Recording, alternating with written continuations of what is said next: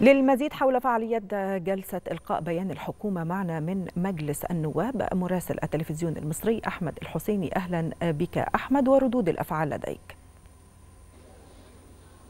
نعم تحية لك. نحييكم من مقر مجلس النواب العاصمة الإدارية الجديدة منذ قليل أحال رئيس مجلس النواب سيادة المستشار الدكتور حنفي جبالي بيان دولة رئيس الوزراء الدكتور مصطفى مدبولي إلى لجنة خاصة برئاسة وكيل المجلس وذلك لإعداد تقرير بشأني في خلال عشرة أيام. على الأكثر يتم عرض هذا التقرير فيما بعد في الجلسة القادمة التي حدد موعدها يوم الحادي والعشرين من يوليو الحالي الموافق يوم الأحد بعد القادم بإذن الله. لعرض هذا التقرير على مجلس النواب وعلى أعضاء مجلس النواب يتم عرض برنامج الحكومة الجديدة وكذلك هذه اللجنة مكونة من 42 عضوا أعلن عنها سيادة المستشار الدكتور حنفي جبالي في ختام جلسة اليوم. كانت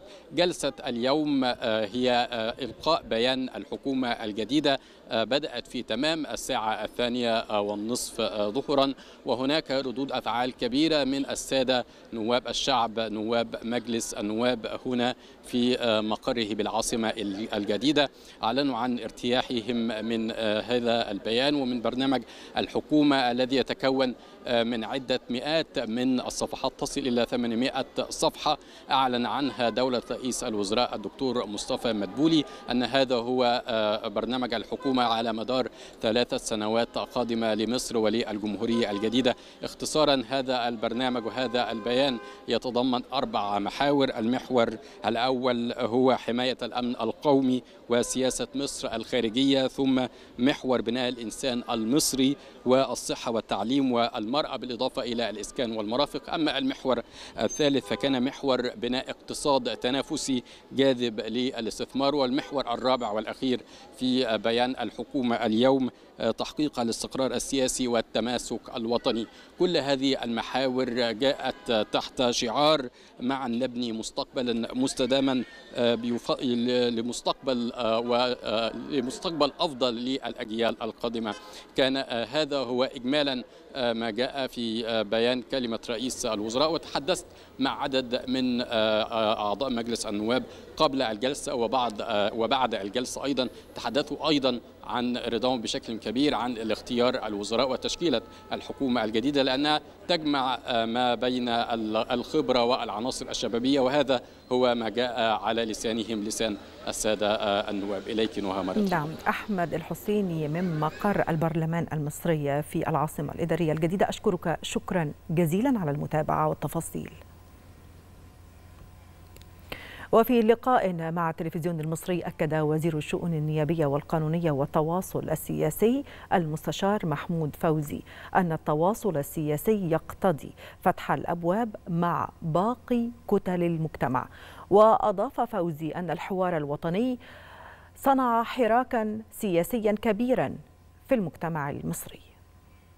معالي الوزير محمود فوزي أهلا بحضرتك وألف مبروك. إيه هي الملفات القادمة التي ينبغي التركيز عليها وفيما يخص ملف التواصل السياسي؟ بسم الله الرحمن الرحيم. شكرا جزيلا. يعني نأمل من الله أن ربنا يوفق الحكومة ويوفق مجلس النواب لما فيه خير الشعب المصري تحت يعني قيادة السيد الرئيس عبد الفتاح السيسي. بالنسبة لوزارتنا إحنا عندنا ثلاث ملفات أساسية. الشؤون النيابية ودي وظيفة يعني مستقرة. العلاقة مع البرلمان بغرفتيه واللجان تمثيل الحكومة وعرض وجهة نظرها مناقشة مشروعات القوانين مناقشة الأدوات الرقابية بالتعاون مع باقي الوزارات. الشؤون القانونية هنا يعني ده كان اختصاص موجود مع الوزارة إن إحنا ممكن نقدم المشورة القانونية للحكومة يعني بالشكل اللي يجمع ما بين الموائمة السياسية والاعتبارات الدستورية والقانونية بالإضافة على الإشراف على بعض الملفات ذات الصلة. التواصل السياسي هي يعني مهمة جديدة لوزارتنا بنتشرف بحمل هذه المسؤولية. التواصل السياسي بيقتضي فتح الأبواب والنوافذ مع جميع الكتل في المجتمع من أحزاب من منظمات وكيانات شبابية الأحزاب هنا سواء داخل البرلمان أو خارج البرلمان من نقابات من اتحادات كل ده برضو لما بقوله بقوله بال- بالتنسيق مع الوزارة المعنية. يعني إحنا يعني مثلا لو في حاجة مع وزارة آه، يعني ليها اختصاص أو ليها صلة بنقابة إحنا أيضا هنبقى موجودين مع الوزارة آه، المعنية. فالتواصل السياسي هي فتح قناة جديدة. طبعا هنتواصل مع الحوار الوطني بشكل أساسي. يعني إحنا يعني سعداء جدا بعلاقة الحكومة بالحوار الوطني. الحوار الوطني مؤسسة يعني بذلت مجهود خلال سنتين عملت حراك حقيقي انتهت لتوصيات جادة. آه، بعض التوصيات اتنفذ والبعض التاني في طريقه للتنفيذ. القضايا التي لم تناقش بعد في الحوار الوطني سيتم مناقشتها. الحكومة بتطلب أحيانا من الحوار الوطني أن هو يناقش بعض الملفات علشان تقدر تعرف الناس بتفكر في إيه. قد قد ينبه الحوار الوطني قد يشير الحوار الوطني قد يضيف الحوار الوطني. كل دي معاني موجودة تحت مسمى التواصل السياسي. وفي لقاء مع التلفزيون المصري أكد رئيس لجنة الزراعة بمجلس النواب هشام الحصري أن اختيار الوزراء تم بصورة جيدة وشدد الحصري على وجود كفاءات ستعمل على دعم العمل بالدولة. آه، ست النائب هشام الحصري رئيس آه، لجنة الزراعة في مجلس النواب أهلا بحضرتك. يعني كلمنا عن اختيار السادة الوزراء والمطلوب من الحكومة. بداية برحب بحضرتك والسادة المشاهدين. الحقيقة النهاردة إحنا في يوم آه، مهم جدا بالنسبة للدولة المصرية وهو يوم آه، هتستعرض فيه الحكومة الجديدة بعد اكتمال تشكيلها آه، هتستعرض رؤيتها وخطتها في الفترة القادمة في ظل تحديات عالمية وفي ظل تحديات إقليمية وتحديات محلية صعبة جدا. الحقيقة ال- اختيار السادة الوزراء آه، تم آه، بصورة جيدة. آه، شايفين إن في كفاءات إن شاء الله هتكون داعمة للدولة المصرية في الفترة القادمة سواء في المجالات الاقتصادية أو المجالات العلمية أو مجالات دعم المواطن المصري.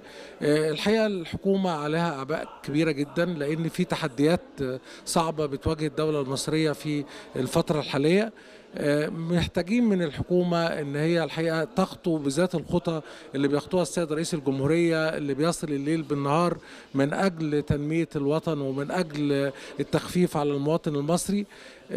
إحنا محتاجين ان ال- ال- البنية الأساسية اللي تمت في الفترة اللي فاتت آه، وقامت بها الدولة المصرية وعلى رأسها مجال الزراعة من توسعات آه، أفقية تمت من تطوير في وسائل الزراعة من آه، استخدام لتقنيات آه، جيدة في استنباط أنواع البذور وغيره. بحيث إن إحنا نزيد الإنتاجية عشان نقدر نتغلب على آه، العجز اللي موجود في بعض المحاصيل الاستراتيجية. الدولة الحقيقة برضو آه، بذلت جهود في موضوع آه، إعلان أسعار المحاصيل قبل زراعتها تطبيقا لقانون الزراعات التعاقدية. محتاجين إن السادة الوزراء ينزلوا لأرض الواقع ونشوف الوزير الميداني اللي بيتفاعل مع المواطن وبيقدر يحل مشاكله آه، بدل ما تعرض عليه تقارير غير حقيقية لما يشوف بعينه وبنفسه عن طريق التجول في كل محافظات مصر آه، ده هيكون هيساعده على اتخاذ القرار المناسب. محتاجين إن النهارده الموظف يستشعر إن هو دوره خدمة المواطن والتخفيف على المواطن. محتاجين إن يبقى في تنسيق بين الوزارات وخاصة مثلا في المجموعة المسؤولة عن الأمن الغذائي متمثلة في وزارة الزراعة ووزارة التموين ووزارة الري برضو عشان محدودية المياه. أنا أشوف إيه احتياجاتي وأشوف إيه الإمكانيات اللي عندي وأقدر أستفيد منها إزاي بحيث إن أنا أوصل لأن أنا اسد جزء كبير من الفجوة اللي موجودة في الأمن الغذائي. سبق وبرضه وجهت رسالة للمجموعة الاقتصادية إن إحنا محتاجين نحافظ على استقرار سعر الصرف لأن إحنا الحقيقة الحكومة آه، اتشكلت في ظل استقرار في سعر الصرف. عايزين نحافظ على هذا الاستقرار لأن أي خلل في منظومة سعر الصرف بيأثر على الاقتصاد المصري ويمكن إحنا شفنا الكلام ده في الفترة الماضية. آه، محتاجين الحقيقة برضو إن يبقى في تعاون مثمر بين الوزارات مش كل وزير يكون موجود في جزيرة منعزلة. اللي أنا يعني مطمئن ليه حقيقة إن مع الجهود الجبارة اللي بتبذلها القيادة السياسية والتشكيل الجيد للحكومة ومع حرص المواطن على إنه برضه يعمل ويزيد من ساعات العمل ويزيد الإنتاجية أنا واثق إن إحنا إن شاء الله في المرحلة القادمة هنلاقي وضع أفضل وظروف أفضل والمواطن المصري هيبدأ يستشعر إن شاء الله انفراجة قريبة في ظل الجهود الجبارة اللي بتبذلها الدولة وأملنا في ربنا سبحانه وتعالى وربنا يمكن من سبع سما حفظ مصر وقال ادخلوا مصر إن شاء الله آمنين. فستظل مصر محفوظة بفضل ربنا وبفضل قيادتها السياسية وجيشها وشعبها المخلص الأمين. اللي ياما مرت عليه مشكلات لكن كان قادر على إنه يتخطى هذه الصعاب ويوصل لظروف أفضل إن شاء الله. شكرا. وفي لقاء مع التلفزيون المصري قبيل انعقاد جلسة إلقاء بيان الحكومة أكدت وكيلة لجنة الاتصالات وتكنولوجيا المعلومات بمجلس النواب مرثا محروس أكدت أن هناك مهمة صعبة أمام الحكومة الجديدة لمواجهة التحديات الاقتصادية. سيادة النائبة مرثا محروس أهلا بحضرتك. يعني كلمينا عن اختيار الوزراء والتحديات أمام الحقيقة إنه بحجم التحديات الاقتصادية الكبيرة اللي بتعاني منها الدولة المصرية سيكون هناك مهمة أصعب أمام التشكيل الحكومي الجديد. أنا أعتقد إنه الأسماء الموجودة في التشكيل لها ثقل جيد جدا في خبراتها واختياراتها كانت بعناية شديدة جدا ليكون أدائها مختلف ومتميز الفترة القادمة ولكن في النهاية ننتظر من هذا الثقل ومن هذه السيرات المشرفة أن يكون لها أداء متميز يناسب أحلام وتحديات الدولة المصرية. الحقيقة نحن عندنا كثير من الأسماء شاهدناها لها خبرات سواء كانت على المستوى الدولي أو على المستوى المحلي في العديد من الملفات ولكن أعتقد إنه الملفات الاقتصادية ستكون محل اهتمام من الشارع المصري الفترة القادمة، الشعب عانى كثير جدا من بعض التحديات الراهنة في ملف الاقتصاد، بنعول أيضا على ملف الصحة والتعليم، كلها ملفات مهمة جدا بتلامس كل البيوت المصرية، مهمة صعبة أمام هذه الحكومة تتناسب مع عظمة هذا الشعب وما عانى منه وما تحمله بشكل وطني خالص وقوفا مع الدولة المصرية. حضرتك بتطلبي حاجة حاجة معينة من الحكومة أو من الوزراء أو من ملفات معينة؟ الانصات للشعب. أعتقد إنه من أهم الرؤى اللي لازم الحكومة تضعها نصب عيونها وهي الانصات لمتطلبات الشعب وإنه يكون هناك دائما حركة من الحوار المتناغم ما بين الحكومة سواء من خلال المنصات الرسمية لهذه الوزارات أو المتحدثين الرسميين. الشعب المصري حينما يكون على درجة وعي من المعرفة ويكون متناغم مع الحكومة من خلال مهامها وتحدياتها بنجد وقوف جيد جدا من الشعب المصري خلف هذه الحكومة وخلف القيادة السياسية ولكن لابد من يكون هناك حلقة وصل ما بين الحكومة والشعب في كل المعلومات. أكد وكيل لجنة الخطة والموازنة بمجلس النواب مصطفى سالم خلال تصريحات خاصة للتلفزيون المصري قبيل انعقاد جلسة إلقاء بيان الحكومة أن ملفات التعليم والصحة وبناء الإنسان على رأس أولويات الحكومة الجديدة. سيادة النائب يعني رأي حضرتك إيه في اختيار الوزراء الجدد وما يتطلبه العام الفترة؟ يعني إن شاء الله يكون اختيار جيد واختيار مبشر كان في قرارات زي تعيين اثنين نواب لرئيس الوزراء الفريق كامل الوزير للصناعة والنقل والدكتور خالد عبد الغفار للتنمية البشرية لمساعدة ومعاونة السيد رئيس الوزراء في القيام بمهامه وده نتيجة التكليفات اللي كلفها السيد رئيس الجمهوريه للسيد رئيس الوزراء من ضمن أهدافها الاهتمام ببناء الإنسان التعليم والصحة. إحنا موازنة العام الحالي فيها تريليون ونص للتعليم والصحة تريليون للتعليم ما قبل الجامعة والجامعة والبحث البحث العلمي ونص تريليون للصحة ده يعني بي يعني بي يبقى يعبر عن اهتمام الدولة ببناء الإنسان وعلى رأس التعليم والصحة وعشان كده تم تعيين نائب رئيس الوزراء أيضا من الاهتمام بالصناعة والنقل. يعني في من ضمن التكليفات النمو الاقتصادي تحقيق معدلات نمو اقتصادي جيدة جذب الاستثمار سواء كان استثمار خارجي أو داخلي وده جعل الحكومة أن هي يتم تعيين وزير الاستثمار ذو خبرات كبيرة السيد حسن الخطيب يعني له تاريخ كبير في العمل المصرفي والعمل الاقتصادي. دلوقتي فده مؤشر جيد. دمج بعض الوزارات التخطيط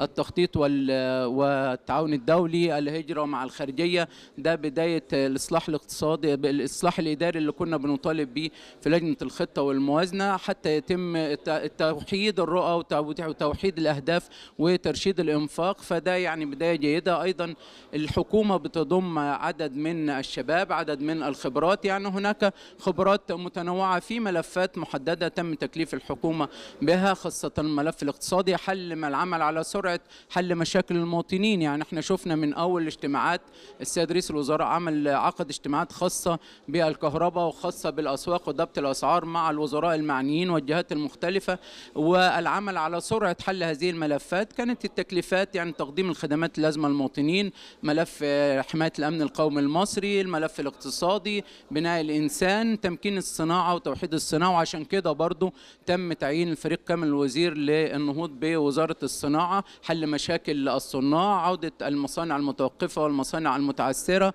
إن شاء الله يعني الحكومة تؤدي أداء جيد وتؤدي تحقق معدلات نمو أفضل ومعدلات اقتصادية أفضل تقديم خدمات أفضل للمواطنين. نأمل في ذلك مجلس النواب بيتعامل بشكل يتعاون بشكل كامل مع الحكومة للقيام بدورها والقيام بمهامها إذا كان هناك احتياج لتشريعات لقرارات نحن على استعداد كامل للتعاون مع الحكومة المصرية لتقديم الخدمات اللازمة للمواطنين وقيام بالدور بما يليق بوضع الدولة المصرية والمواطن المصري. هذا وأكد أحمد السجيني رئيس لجنة الإدارة المحلية بمجلس النواب أن المرحلة الحالية تتطلب من الحكومة المزيد من الجهود تحت عنوان رضا المواطن وخلال تصريحات للتلفزيون المصري قبيل جلسة بيان الحكومة أشار السجيني إلى أن هناك تحديات كثيرة على رأسها أزمة الكهرباء. سيد نائب أحمد السجيني أهلا بحضرتك. رأي حضرتك إيه في اختيار الوزراء الجدد والحكومة الجديدة؟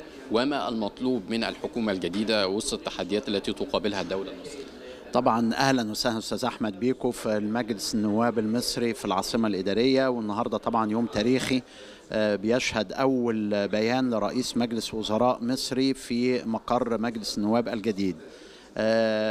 إجابة على سؤال حضرتك طبعا إحنا تحدياتنا كثيرة. وامالنا كبيرة. لكن أنا الحقيقة نصحت زملائنا الوزراء سواء من جد جدد لهم الثقة أو من تم تكليفه بإن المرحلة تتطلب تحقيق عنوان كبير جدا. اسمه إيه؟ اسمه رضا المواطن.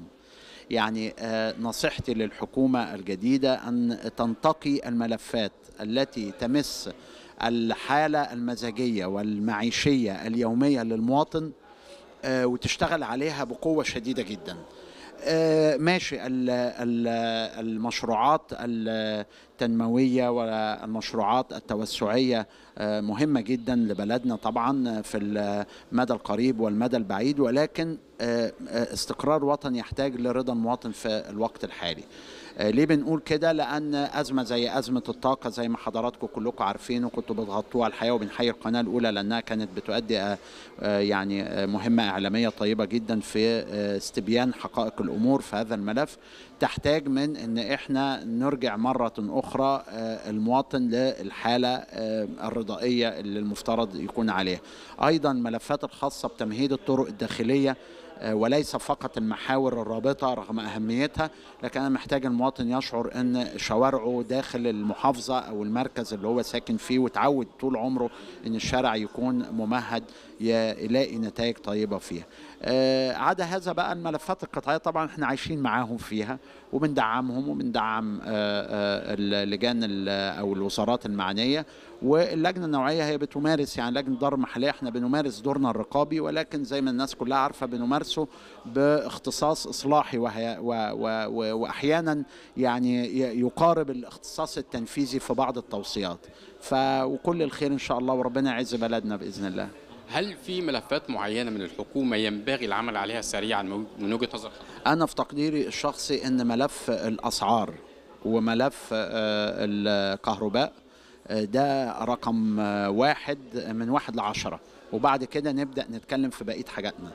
ليه؟ لأن الفترة اللي فاتت الحقيقة إحنا عايشين في عالم مفتوح. عالم السوشيال ميديا والتواصل الاجتماعي وهذا العالم الحقيقة عالم افتراضي. في بيانات ومعلومات كثيرة مما يتم تداولها في هذا العالم تحتاج إلى تدقيق. بعضها بيكون له نوايا خبيثة. للأسف المواطن تحت الظرف والحاجة باختلاف الثقافات والمستويات التعليمية والاجتماعية والمادية بيتأثر بهذا المكون المعاصر لنا. فعشان كده الأسعار والكهرباء لازم نشتغل عليها.